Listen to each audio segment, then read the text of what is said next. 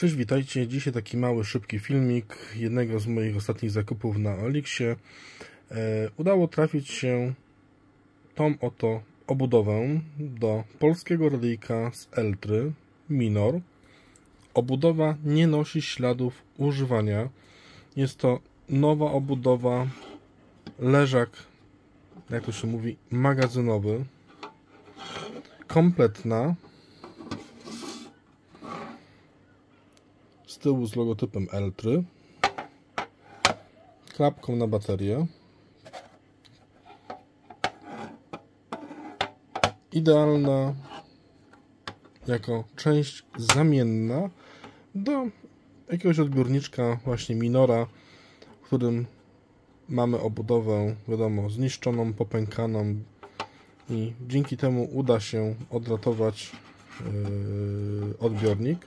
Sam w kolekcji posiadam kilka minorów, yy, gdzie na pewno ta obudowa idealnie posłuży jako element yy, zamienny. Tak więc yy, zaraz Wam jeszcze pokażę środek. Sami zobaczycie, że obudowa naprawdę nie nosi żadnych śladów używania. Otworki na nity, na skalę nie są w żaden sposób rozwiercane, przewiercane, więc tak jak wyszły z formy, tak ta obudowa po prostu była schowana gdzieś u kogoś, no i postanowił ją sprzedać. Zaraz otworzę obudowę, zobaczycie sobie jak ona w środku wygląda, ale to już poza kadrem.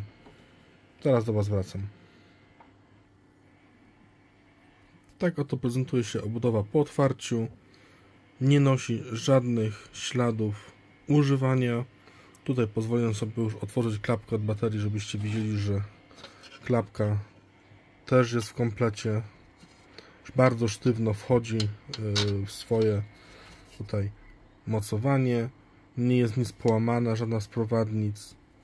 Tak więc idealny eksponat, nazwijmy to. A tak wygląda wnętrze drugiej połówki.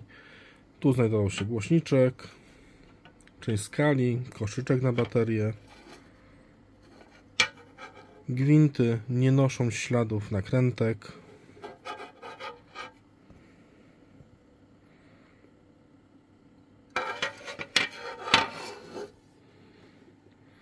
Nie ma śladów pęknięć przy miejsca, gdzie są potencjometr oraz gałka pozycjonera plus y, gałeczka od kondensatora do strojenia.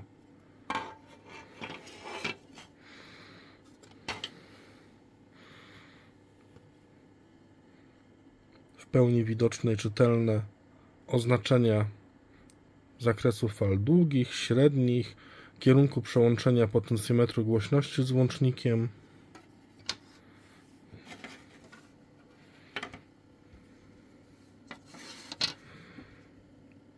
Na tyle jeszcze widzimy oryginalny logotyp Unitry z tamtego czasu, logo Eltry, miejsce na numer fabryczny, informacje o zasilaniu, wyprodukowano w Polsce. Oraz wersja napisu rosyjską cyrylicą. Tak więc taka mała ciekawostka udało się trafić oryginalną obudowę. W niedługim okresie na pewno ją wykorzystamy do naprawy jakiegoś odbiorniczka z serii Minor. Tak więc dziękuję za uwagę, pozdrawiam, zachęcam do obserwacji kanału. Pozdrawiam.